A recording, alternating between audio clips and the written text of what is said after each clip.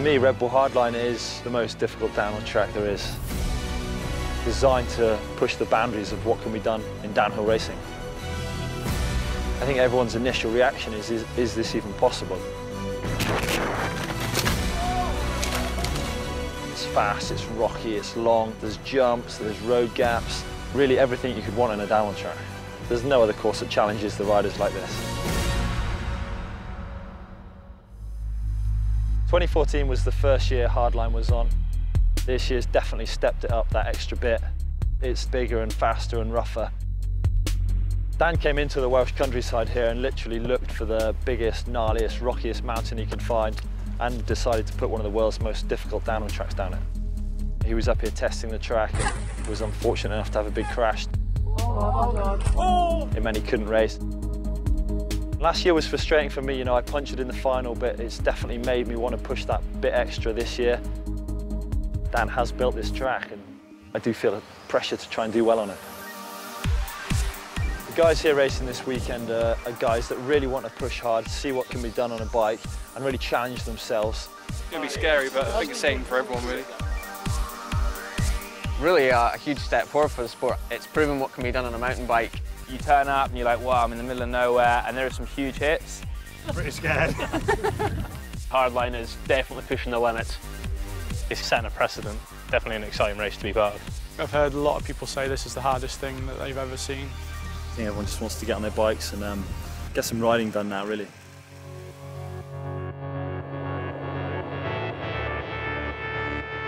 First run.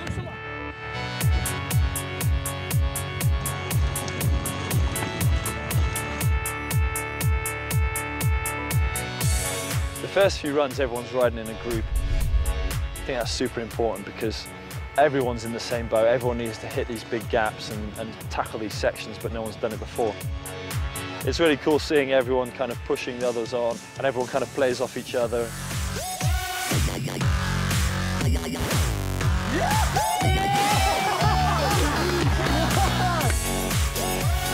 All this stuff's bigger, higher, faster than what we usually do. I've probably done two of the biggest jumps I've ever done. I did have quite a big crash.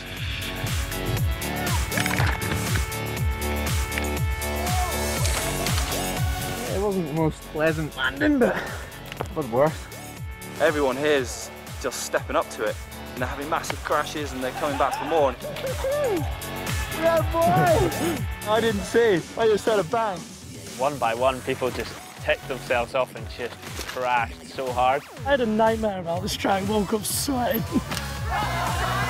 It's intimidating, you know. I'm having fun, but it's just like on the edge of your seat fun. The one hip jump, I thought I was going to be pretty dialed on, being the BMXer and all. I was like savage, massive, over the bars.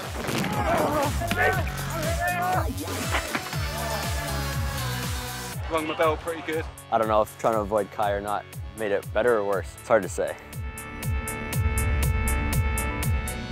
Stuff they're hitting is incredible. You wouldn't see guys hitting this stuff on any other race. That's sick! Feel all right now. Now I've got a few more under my belt. Kind of getting a bit more confident. I was terrified, not gonna lie, but really good at the same time. What a thrill. It was quite cool to see everyone so committed and, and push so hard.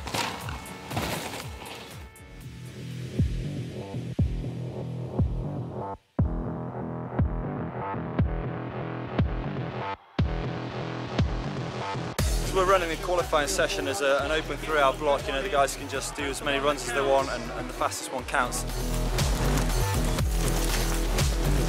Yeah, it felt awesome getting down here. Yeah, I want to go and do another one now.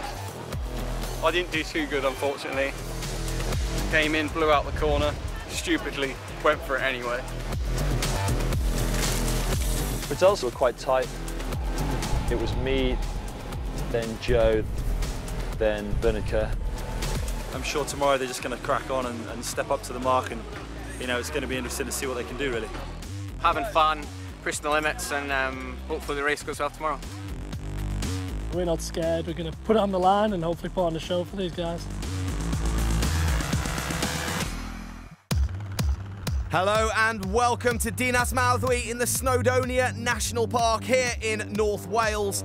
This part of the world is something of a mountain biking mecca and today plays host to the hardest downhill race in the world, Red Bull Hardline. Alex Bond, then, the unenviable first person down this course. He survived practice, that's one big thing, but it's a very, very different story now. And he's carrying good speed. He's going to get over this nice and safely. Oh, he's not! No, excuse me. Well, going to need a lawyer for a case like that. But Bond, you know, fair play to him. He's back on the bike. Oh, and no, a flat tyre now. Just a bit gutted, really, bit gutted to end it like that. But that's how it is. If I get an entry again next year, I'm definitely coming. So being a part of it is awesome. The 2011 national champion, Ruaridh Cunningham, next to drop. Relishing the challenge, and these big jumps don't seem to be phasing him. I mean, you know, you're not national champion in the UK without being something very, very special on a bike. He spent more time on this mountain than perhaps anyone. Oh my word, this is a huge run from Cunningham. Looks very fast. He looks in so much comfort and control here.